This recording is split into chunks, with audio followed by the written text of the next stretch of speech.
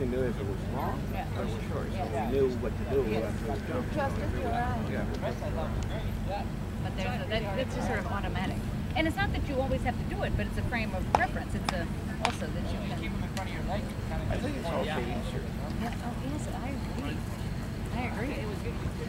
And, and yesterday on the black, you know, he said, oh, I didn't see the, I didn't see the eight. But then, then the next word said, but, and, and they didn't say but. He said, I didn't count.